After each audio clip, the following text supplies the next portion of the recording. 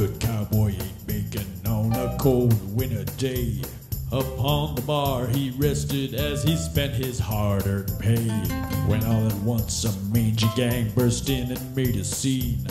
A plowing through the hall, of women they did demean.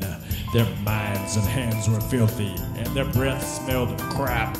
When the good cowboy stood up, he was told, Now shut your little trap! One reached and grabbed some meat with some slimy, grimy paw. The good cowboy lay focused, then he struck him on the jaw. Bacon! Oh, bacon! Pork bandits in the bar. Bacon! Ooh, bacon! Bacon! You got pork bandits in the bar.